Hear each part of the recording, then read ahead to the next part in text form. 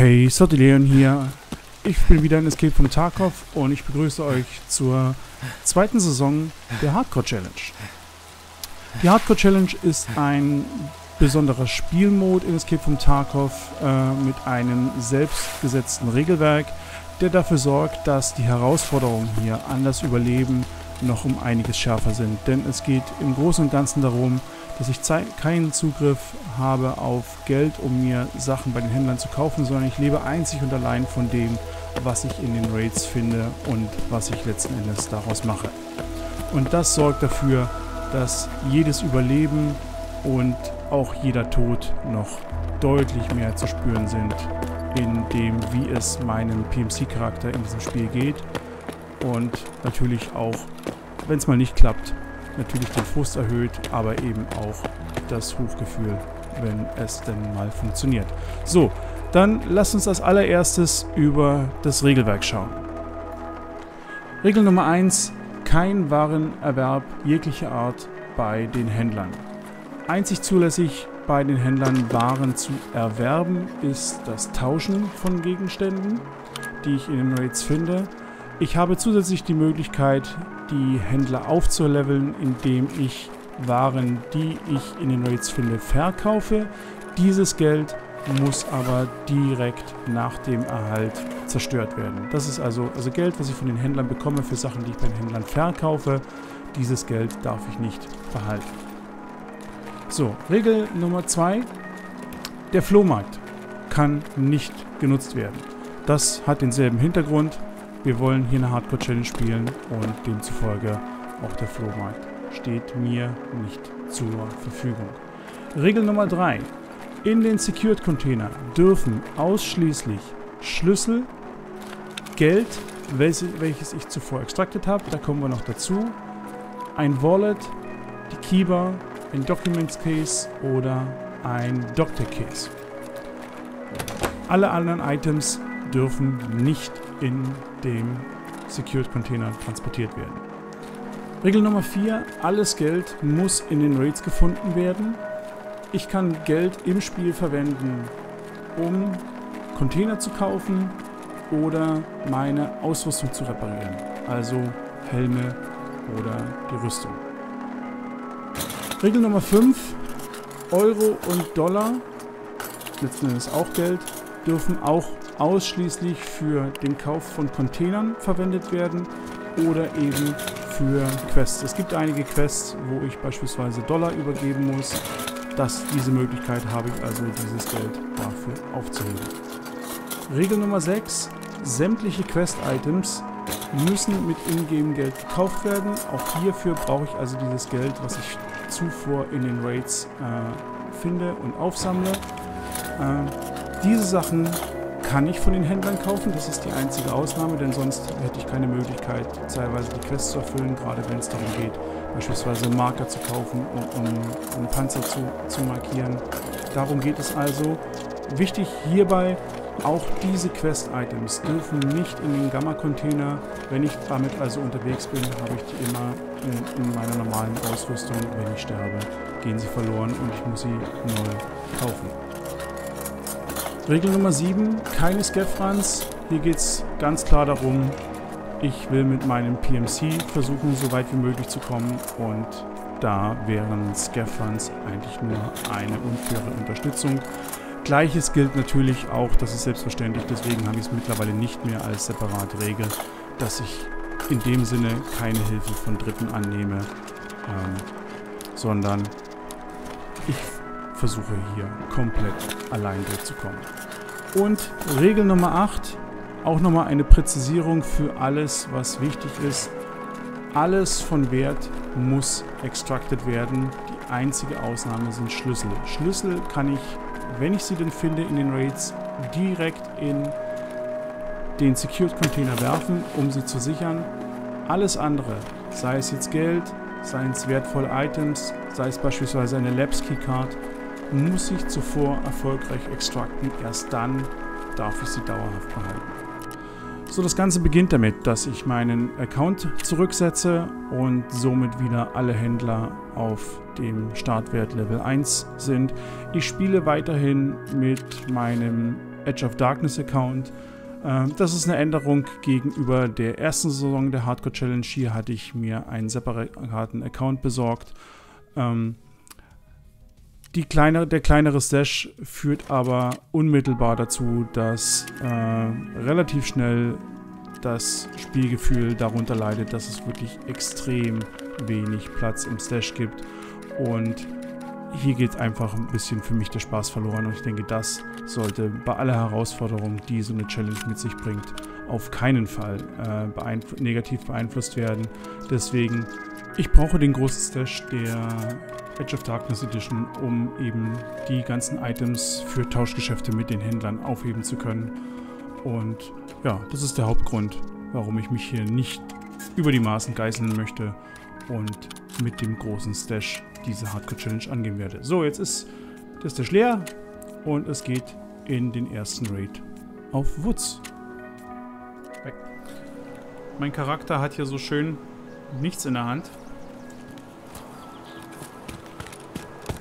Was ich machen kann, ich kann versuchen zu looten. Ich habe hier unten die Waffenkisten.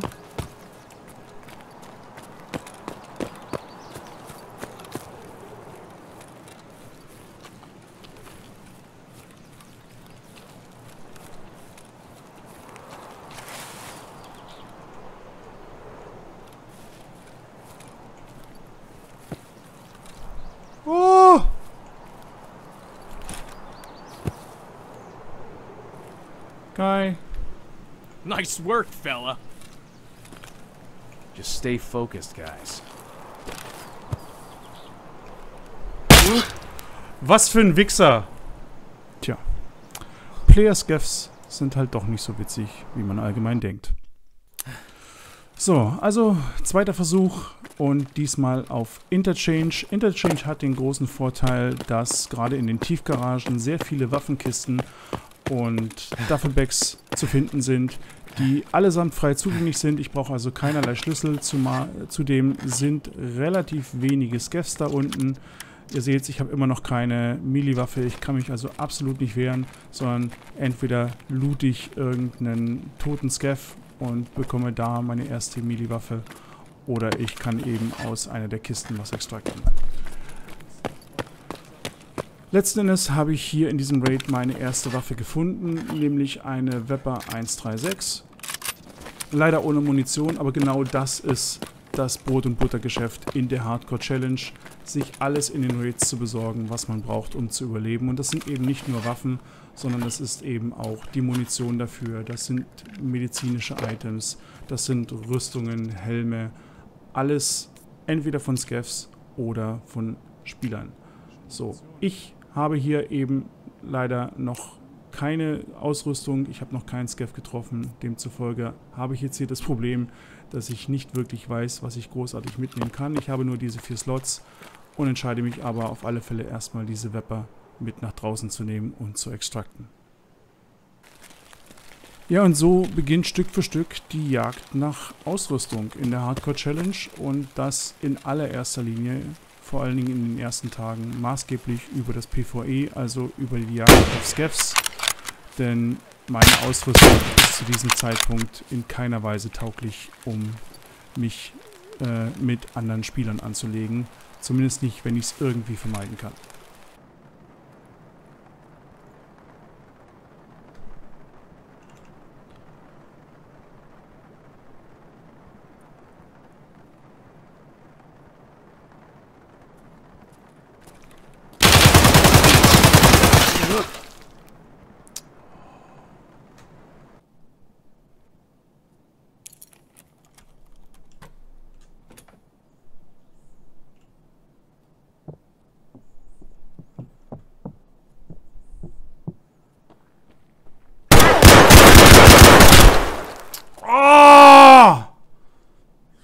So knapp.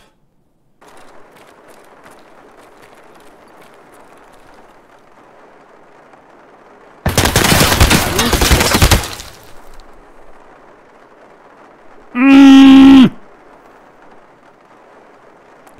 Gib mir noch Zeit zum Aimen. Kleine Ergänzung, falls hier irgendjemand gerade am Bildschirm schreit. Die Mosen ist natürlich eine Ausnahme. Aber das ist zu dem Zeitpunkt hier die einzige Mosin, die ich besitze.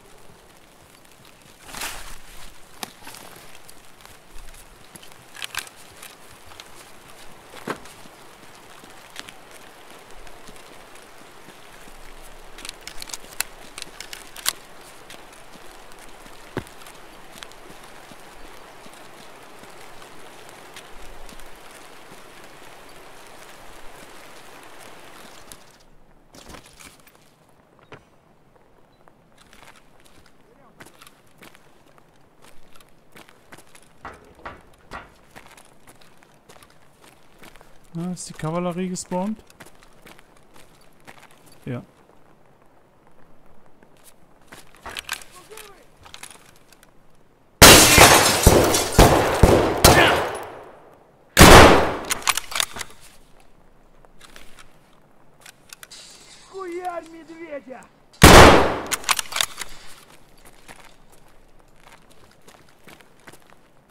Mensch!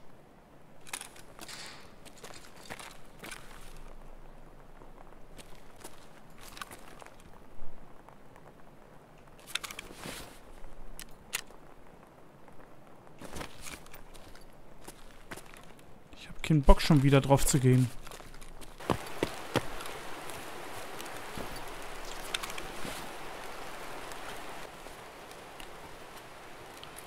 So, bei diesem Scav hatte ich Glück. Wie ihr seht, gibt es hier einen neuen Schlüssel für mich und das hat sich herausgestellt als der Mark Key. Und damit habe ich in der Hardcore Challenge jetzt die Möglichkeit, auf Customs in den Marktroom zu gehen und habe da natürlich die Hoffnung, in den nächsten Tagen Vielleicht ein Document Case, vielleicht eine Keyword zu finden. Vielleicht sind die Tarkov-Götter ja gnädig zu mir. Oh, Scav ist über mir.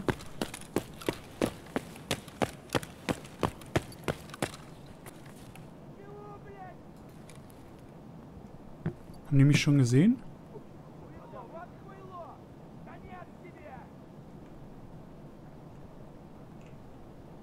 Ich glaube schon.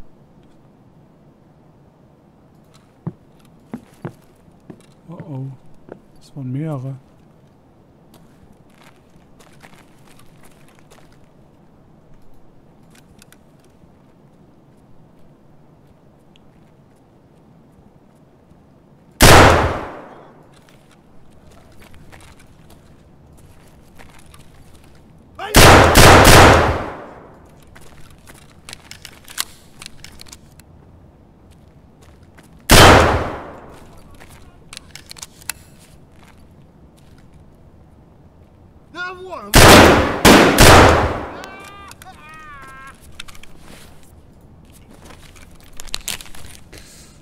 Au!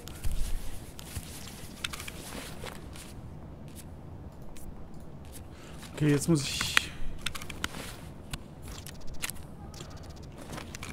Shit.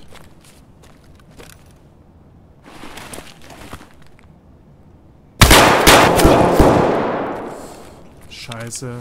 Und jetzt blutig.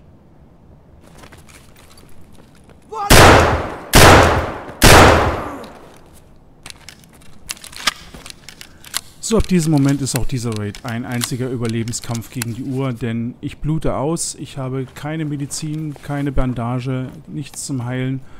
Ähm, gleichzeitig habe ich vor mir einen Scaffend im Pilgrim und noch einen weiteren mit einer Ada, die ich unbedingt haben will. Und demzufolge bleibt mir im Anschluss nichts anderes übrig, als hier mein Glück zu versuchen, Richtung Mantis zu laufen, um irgendwo in Mantis vielleicht ein, ein Karmet-Kit oder seinesgleichen zu bekommen, um meine Blutung zu stillen und vielleicht doch noch die Möglichkeit zu haben, diesen Raid zu überleben. Denn Andernfalls bin ich mir ziemlich sicher, dass ich hier nicht lebend rauskommen würde, sondern irgendwo auf dem Weg zum Ausgang zu verbluten.